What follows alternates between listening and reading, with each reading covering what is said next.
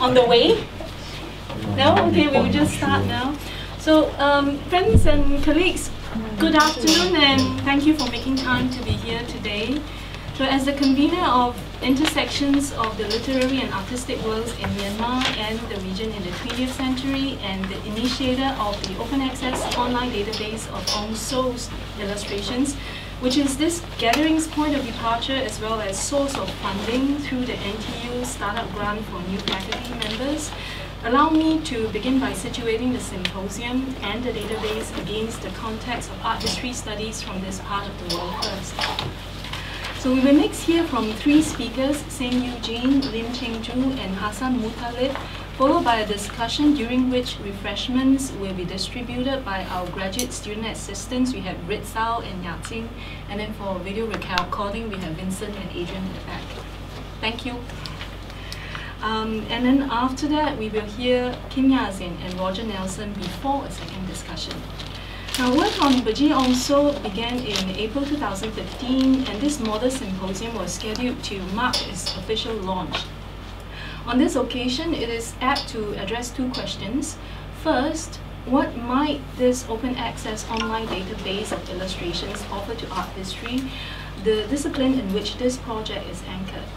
Second, what might be the pertinence of examining art historically equivocal territories like illustration, cartoon, comics, animation, poetry, and novels in relation to making sense of the constructs of art in Myanmar and the region, a loosely defined geographical expanse intended to subsume South Asia and Southeast Asia.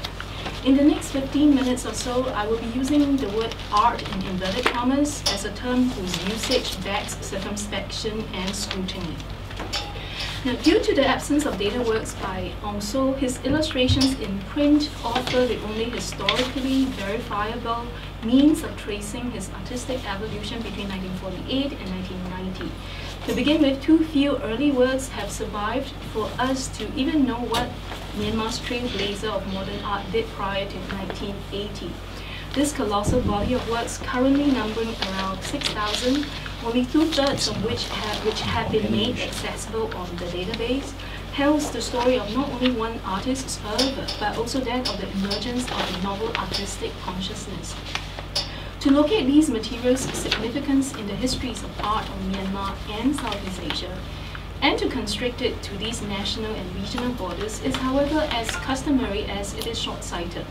The exceptionality which lies in the assimilation and amalgamation of a diversity of techniques of mental cultivation, cognitive processes, and pictorial idioms from across space and time is not exclusive to any nation or political region.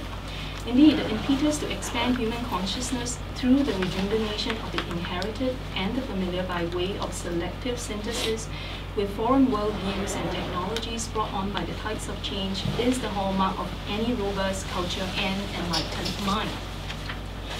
Confronted with the wealth and potential of illustrations accumulated since the year 2000, it was the reality of the brevity of human life and the awareness of my material and intellectual limitations that led me to explore the internet as a suitable repository as well as a platform for their dissemination. Clearly, a catalogue raisonné of Aung illustrations in the thousands is financially unthinkable, not to mention that any monograph can take years to see the light of day. A website to stage virtual exhibitions of Aung Soe's works, bagyiaungsoe.com, was hence created and launched in 2009 with the technical assistance of an ex-student, Chris Likiente. A Facebook page which allowed me to reach a wider, though not necessarily more discerning audience followed in 2011. Now, what the website and Facebook page lacked was an intelligent organization, analysis, and visualization of uploaded data for the efficient for efficient browsing and study. With aungsoeillustrations.org under the direction of Hedren Sum, who's here with us, supported by the head of ADM Library, Phoebe Lim, my initial understanding of the database metamorphosed from an inert repository to what we call a generous interface, driven by the aspiration to enhance the discoverability of data. Now, what do I mean by a generous interface, a term coined by Mitchell Whitelaw? Hedren can definitely explain it more accurately and thoroughly than myself, but I shall nonetheless attempt to do so in layman's terms. Uh, a da database that merely serves the whole data is akin to a storage space whereby the organization and retrieval of stored items is not necessarily efficient. Its location in relation to other items is also problematic. Now, for example, should an art hmm. nouveau vase for holding flowers be classified as an objet d'art and arranged on the top shelf or a regular vase to be stored in another corner with other IKEA items serving the same function? Amongst the many things Hedren has done to make the database a generous interface is to render visible the mass of data as well as their relationships by designing ontologies. At the most basic level, the illustrations can be accessed through a search based on the year of publication, the title of publication, source of image, type of image, decade, and dominant color. What follows is the possibility of retrieving illustrations using up to three keywords identifying the motifs, themes, and techniques in each illustration.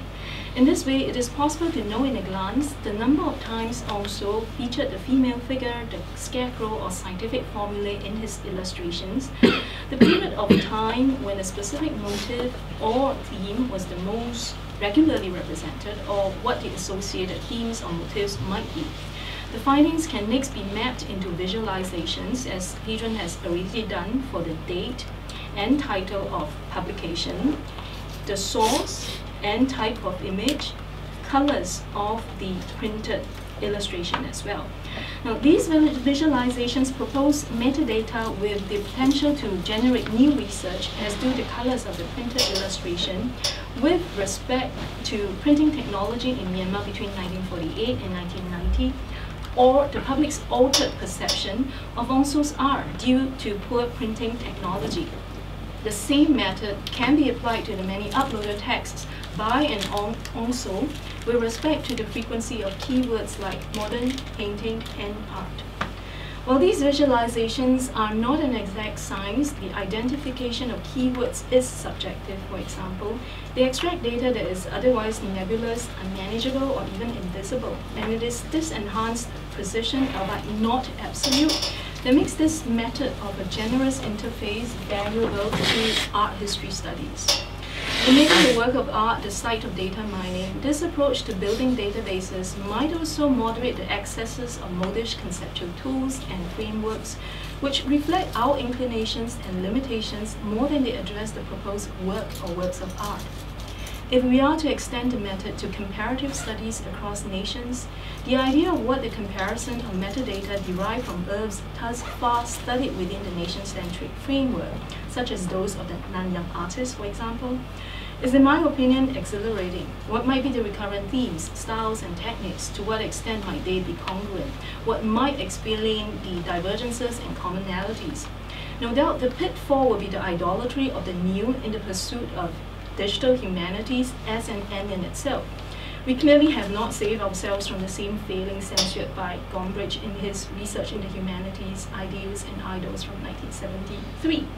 In fact, we might well be at the mercy of bigger and hungrier idols, which we continue to feed in the name of scholarship. Now, before I move on to address the purpose of our gathering today, may I bring to your attention one more but not final property of the online database as a means of practicing art history. It in turn exposes my incompetence with respect to aungsoeillustrations.org. Capable of mir mirroring the latest findings and pace of ongoing research, its dynamism as a means of documentation and dissemination is unprecedented. By right, based on the current and the current stage of research, one should be able to access at least 60 articles by and on the artist and 6,000 illustrations, 2,000 of which are recently scanned illustrations from the National Library of Myanmar and University Central Library of Yangon Universities. The introductory texts under About which date from the soft launch in December 2016, should also have been replaced with new ones taking into account the latest developments. The keywords should also include all illustrations from the 1970s corresponding to the most prolific period of Aung Soe's career. Yet one does not, and that is because I've not been able to keep up with the velocity of this living organic database. Neither have I been able to match the prolificacy of Aung Soe. The decision back in 2016 to open the database, in spite of ongoing corrections and updates, was not involuntary. Interpretation, um, aungsoeillustrations.org will remain work in progress as long as new data continues to emerge. My interpretation of them continues to evolve, and Hedren continues to come up with ground groundbreaking ideas to experiment on the possibilities of the online database as a means of generating research and insights. As such, it makes more sense to make available as many materials as possible, never mind the imperfections and oversights awaiting correction, than to bury them. Hope remains that they might kindle someone's curiosity, uh, curiosity possibly leading to sustained inquiry, lending to the expansion of our art historical imagination and perhaps even human consciousness. So now we come to the symposium. Thank you for bearing with me. With respect to our theme today, intersections of the literary and artistic worlds, it was the many days spent poring over literary periodicals from the second and third quarters of the 20th century that led to the awareness of the crucial role played by illustration in the development, dissemination, and documentation of art in 20th century Myanmar, and ultimately that of the porosity of the fields of activities conventionally studied in isolation, which are illustration, modern art, film, literature and publication in general. Few work confirmed that the artistic and literary worlds in Myanmar were symbiotic. Painters wrote, filmmakers painted, poets inspired painters. The opposition between fine art and commercial art, too, often assumed to be universal, is in reality extrinsic, and specialization was not necessarily a sine qua non. Conversations with teachers and colleagues working on India, Bangladesh, Vietnam, Cambodia, Malaysia, Singapore, and Indonesia only confirm what I observed of Yangon's art worlds. Painters, cartoonists, architects, filmmakers, poets, and novelists rarely worked in isolation of the larger intellectual, political, and artistic currents shaping the epoch. The study of the emergence of art, a foreign construct whose implantation is indissociable from political colonization and cultural imperialism, in isolation of the context of exchange, collaboration, competition, and even rivalry among the creative individuals experimenting on different means of articulating newfound artistic, intellectual, and political consciousnesses, is thus solely inadequate in an attempt to uncover the hitherto unexamined processes and conditions sustaining the spirit of syncretism in art worlds in this part of the world, this symposium was hence convened to 1. Investigate the often overlooked medium and agency of illustration in the articulation of art, examine instances of collaboration, dialogue, debate, or and contention between painters, cartoonists, writers, poets, filmmakers, editors, publishers, critics, photographers, etc discern genesis of art from the perspective of the literary world, reflect on common threads and divergences in the ways in which modern art emerged in tandem with developments in the literary world in Myanmar and the region. The interest lies not so much in art per se, than how constructs of art might be unpacked, dissolved, or peeled away to reveal the processes of imaging, meaning making, and experience conditioned by intention, practical factors, and conventions. Indeed, the larger but perhaps overly ambitious aim would be to delineate fresh approaches to thinking about and writing about art beyond that yoked to the Euro-American experience and agenda, which continue to be upheld by institutions of art and higher learning. What might be a more accommodating understanding of art in our part of the world where prior to colonization in the 19th century, there was no equivalent for art as we understand it today? Objects of beauty charged with symbolic meanings that make up daily life, textiles, containers, parasols, etc., would have been the principal preoccupation of image makers, not objects and acts canonized by agents of the art world and enshrined in museums. Further questions include when does an individual creating cartoons, comics, or animation films come to be perceived as an artist, if ever, and in what spaces? If cultural and mental habits are rarely suppressed overnight but merely take on new forms, might illustration, comics, photography, and animation, which are better integrated into the quotidien, be in fact avatars of the earlier local tradition of so-called art. Now, Hassan's observations that animators in Malaysia look to ancient art forms like the wayang kulit for inspiration rather than art created by their contemporaries is not insignificant. While nostalgia, or what some art historians refer to as the neo-traditional, might be the case here, there remains the question of how Malaysian animators and their communities and audiences understood art, in contrast to the relatively small group of arbiters of art whose bases are the exhibition, art gallery, and museum. Indeed, why did animation and painting in the sense of art not meet in Malaysia as they did in the Philippines with Rox Lee, for example? Next, might the notion of parallel art worlds be a valid point of entry to making sense of the creative impulses and processes as well as their output in this part of the world? These are questions to ponder over. Within the art world, attempts to fix the meaning and representation of art are not new, as we shall hear from Eugene speaking on the United Artists Front of Thailand and New Art Movement in Indonesia. But in the absence of a notion of art venerated as the zenith of man-made images and objects divorced from daily life, what defines the value of an image or object for the layperson? Might the element of social responsibility and activism in cartoons, which we shall hear about in Cheng works, actually enhance their value in the eyes of their intended audience, making them finer, higher than fine art.